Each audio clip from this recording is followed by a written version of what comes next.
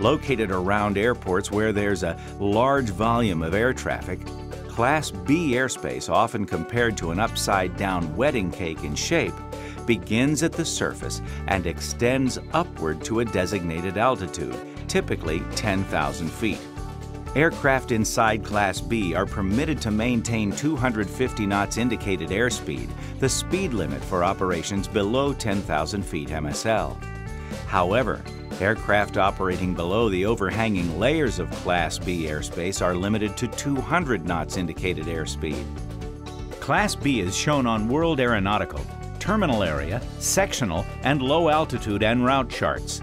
Let's look at Cleveland as an example. Class B boundaries are shown with heavy blue lines. There are four layers in all. Let's begin in the middle and work our way out. The top of the airspace is 8,000 feet MSL, and in the vicinity of Cleveland International, it extends to the surface. The next layer starts at 1,900 feet MSL. The next layer at 3,000 feet MSL. And the outside layer begins at 4,000 feet MSL flying within 30 nautical miles of the primary airport, you must have an operating transponder and altitude reporting capability if the aircraft was certified with an engine-driven electrical system and is not classified as a balloon or glider. Before operating in Class B, you must receive authorization from ATC, maintain two-way radio communications with ATC, and have an operating transponder with altitude reporting private pilots may operate at all airports within Class B. Student pilots cannot take off, land, or fly solo in that airspace unless they have received ground and flight instruction for the specific Class B airspace. The student's logbook must have been endorsed within the previous 90 days by the instructor who gave the flight instruction. Recreational pilots may fly in Class B airspace after receiving an endorsement for ATC communication.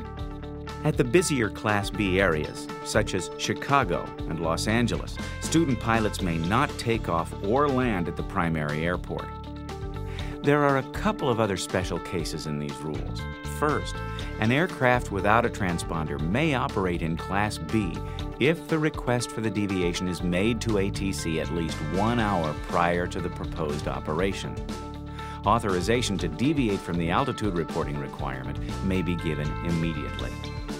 The minimum VFR visibility in Class B is 3 statute miles and you must stay clear of clouds.